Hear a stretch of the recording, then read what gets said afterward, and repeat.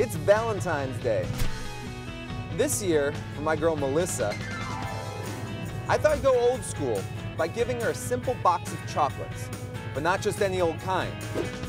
I'm enlisting the experts at Anna Shea Chocolates to show me how to make some elegant, one-of-a-kind creations that really stand out in the crowd. What is it about chocolate that people go crazy for on Valentine's Day? Well, chocolates have always been known as an aphrodisiac, and chocolate is known to have uh, about 300 chemicals that affect our mood in a positive way. The history of chocolate goes back a ways, does it not? 2,000 years, the ancient Mayans, the ancient Aztecs. Yes, chocolate was first found in uh, South and Central America. Quetzalcoatl, he was the god, and his food was chocolatl.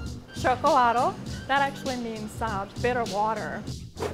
Chocolate originally was used in a liquid form. Mm. There was no sugar at this point, so this drink really was so bitter. Bitter. I hear Montezuma drank 50 cups of that uh, bitter water a day. To increase his libido, this is ah. right. I want to make my girlfriend some chocolates. All right, let's get to it. I'm gonna make rose cream chocolates. We're gonna start with making a little line for the rose, and this sort of represents the thorn. And then we're gonna take the airbrush. Wow, it looks like spray paint. Yeah. But what is it? It's colored cocoa butter. I feel like a welder. So now, next move is to line the chocolate. So okay. what I have here is some tempered white chocolate, and we're just gonna fill the mold.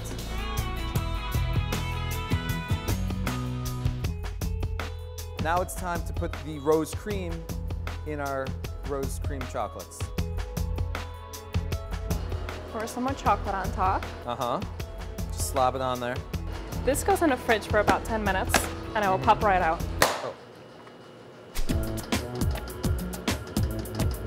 This is the enrobing part of the evening, right? You've got the chocolate coating.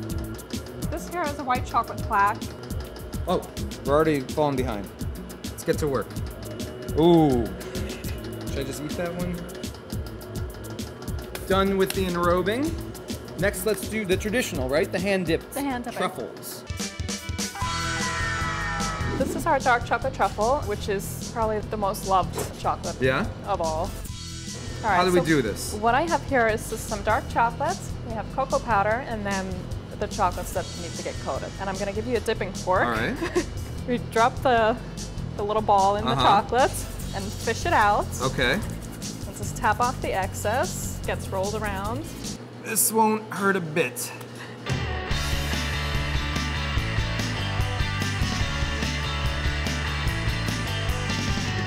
Ready to, to box it up for, for my special lady friend.